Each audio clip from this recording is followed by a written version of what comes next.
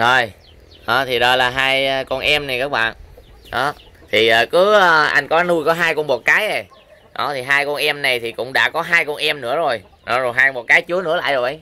À, hai con đây là còn hai con chị. Hai À. con chị là mới em của hai con đây. À đúng rồi. Đó là em thứ ba á. đó là em thứ ba các bạn. Đó có nghĩa là hai con chị kia. Còn hai còn hai con em của hai hai con con con cái đó là đằng sau đó còn hai con đó là hai con em thứ ba mà anh mới tách sữa ra để uh, cho một cái nó mập mập lại chút cho nó bú. Đó à, cứ tông em một như vậy cứ nam cứ hai con hai con mà đĩa toàn bờ cái không không có con nào bờ đực. Đấy em mua bốn con như thế này.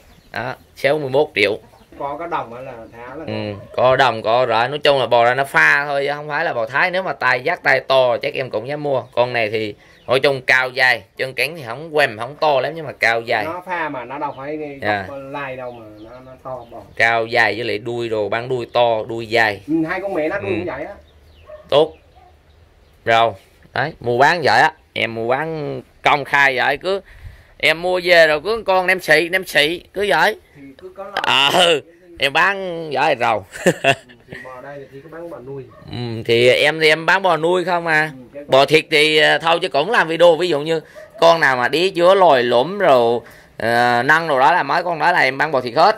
À, đó. là bò đực mà kiểu như nó tròn rồi bò xí xí rồi mà nó tròn là em bỏ lò hết. Em có làm video em bán bán lên kênh Ừ. còn mấy con tơ manh nhà mà đói khô chưa chịu đực rồi là về người ta vỗ vô là nó nó tròn lên người ta nếu mà bò ra người ta đép thịt lên người ta bán vẫn có lời mà đâu nói tới chuyện xinh sáng nhưng mà bò tơ à, thịt lên là thứ gì chứ? Ba chục triệu con trở lên là, là lúc nào cũng có. Do khung mạng nó to này ừ.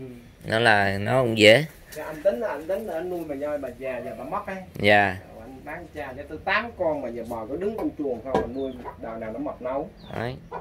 con nào nói cũng đẹp mất hồn mới đâu về nuôi mập lên nghe chúa đĩa lời không bò là hàng nuôi nói chung là mình à, à, em em thì, thì thì ai mua thì không sợ bệnh hoạn đâu bò Ừ. nhà đĩa hết chứ mình phải đi mua ông ngồi rồi mình cũng sợ chứ còn đây bò đĩa từ nhỏ cho tới lớn. Đấy các bạn chuồng trại đó rồi bò đó là nguồn gốc ở nhà cũng của hàng xóm là sáng nay xuống mua cũng giao lưu luôn.